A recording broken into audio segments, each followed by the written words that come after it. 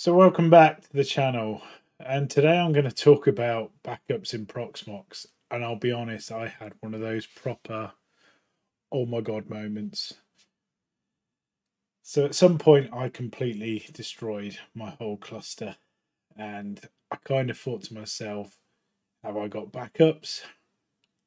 And then I realised because it was a fairly new cluster I hadn't bothered to set them up. So my advice is always set up backups as part of your installation. So that's what we're going to cover off today. Now I'm going to use a USB drive, just external one. Now my recommended setup wouldn't be to do that. It would be to have a TrueNAS or some other NAS that you could set up an NFS share and back it up that way. However, for simplicity at the moment, I'm just going to do it with a standard USB drive and then I will probably then set up something like Syncthing or something or other to push that over to an NFS share or even a cloud solution, potentially maybe using like rsync. But either way, here's a very quick guide on how to do backups in Proxmox using a USB drive. Okay, so today I wanted to talk to you about backups and what I've done, you'll probably notice I'm just looking at my Quadro. I've added something called dev SDG, which is a USB drive. So basically, this is a 12 terabyte. It's an old Western Digital black drive, but it's kind of ideal for backups because, you know, realistically, it's one place to put them. I will probably set up some kind of syncing to send them somewhere else as well at some point. But primarily, what I wanted to do today is show you an easy way to set up backups and kind of how to control those backups. So what I'm going to do is basically I've connected the drive. I know it's going to be SDG, so that's really simple for me. If I go on to shell, I'm just going to run a few commands. Let's just run that. Let's do a new uh, partition size and then write. Yeah, yes, we will write that. And then I should be able to quit.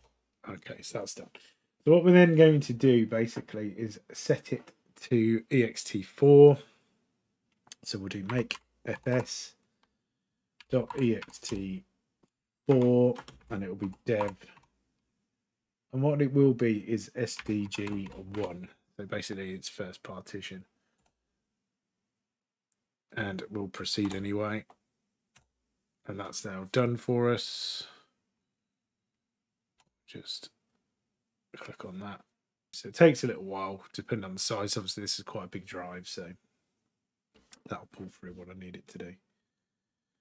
What I'm then going to do is make a mount point for this device, which once this is finished doing, we will carry on with. So there we go, that's all done. Right, what I'm now going to do is create a mount point. So all I'm going to do is quite simply make a dir, and I'm just going to call it put it under mount and I'll just call it USB backup. So that's pretty much what it's going to be. Okay, now what we need to do is basically mount that drive to that device. So it'll be mount DEV SDG1 to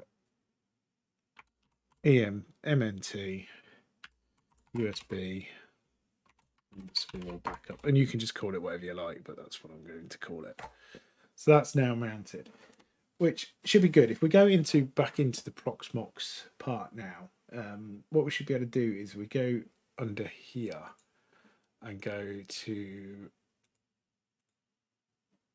storage. We'll click add a directory. What we should be able to do is basically give it a name. So the name will be, let's, let's keep it consistent. So we'll call it USB backup. And the directory name will be that mount location that we gave it. So it will be for us, EMT, USB, underscore backup, and that should work. Now what I'm going to do is give myself the option to have this have backups. I don't want it to have the disk image. I'll let it keep ISOs. I'll let it keep container templates and potentially snippets as well. and we'll make that shared as well at that point. So click advanced, that's fine. It should be able to click add. And that should appear on all of the devices. And there you go. It's mounted on that Packard. It's mounted on there. It's mounted on there, which is great. So that's what we're doing. Now, the only thing we're going to want to do is to make sure that it actually auto mounts. All we need to do is to run a command in the shell for that to happen. So if we go back to the shell, run the following command. This should do what I want it to do.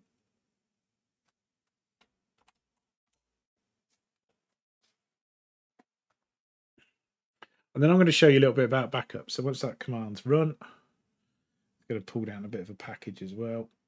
But basically, it will just auto mount that drive for us, which is great. So that's done.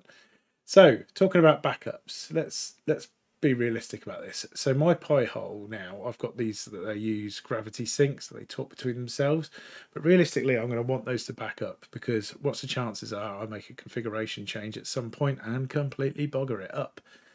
So from a backup point of view, what I need to do is basically potentially set a schedule for it. So at the moment, I could just do a straight backup if I wanted to do it.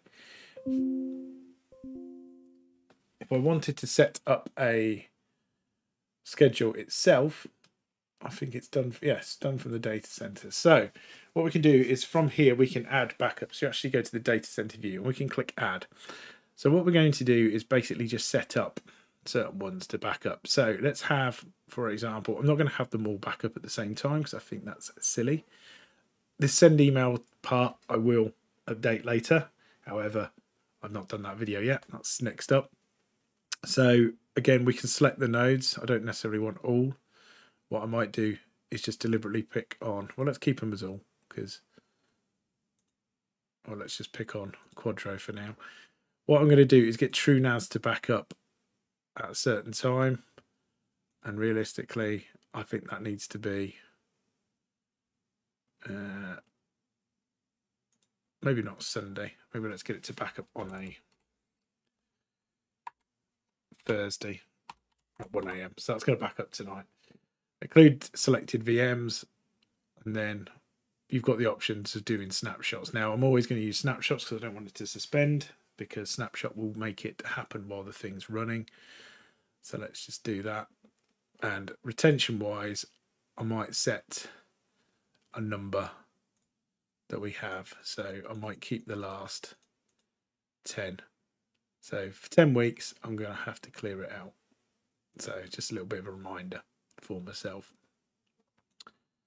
Note template, you can add in some bits on here as well. So I think it's a good idea to add in the node and VMID as well. So let's just drop those in. And then just put a little bit in there. And then click create. Don't, don't, don't, don't, don't, don't, don't, don't, don't, don't, don't, don't, don't, don't, don't, don't, don't. It likes Thursday. Maybe it just likes the.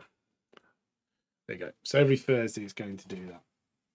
So that's that backup schedule done. Now, if I wanted to take a backup now, which I do want to do for this, because I'm currently working on this on a video, I can just click backup now. And what it would do is, this is actually offline at the moment, so I can actually just do a stop. It won't really matter. And then again, I'll have both of those done in here. Now, I'm actually wanting to take a backup it's going to take a backup at this point and that will just run through and I can do any of those so I need to back up all my kube nodes anyway so what I'm going to do is just take a, a, manual backup this way and you can see they're all going to USB backup and the USB backup is linked across all of them. So yeah that's how you do the backups. So there we go we've managed to complete a backup and also set some schedule ones and I would strongly suggest having at least weekly backups for the majority of your virtual machines and containers don't do what I did and just assume everything will be okay. Also, if you're going to start making some configuration changes, why not take a snapshot prior to doing so? Makes life a little bit easier all round. So hopefully you found this video fairly informative. It's quite a simple guide really. If you did, hit the like and subscribe button and I will see you next time.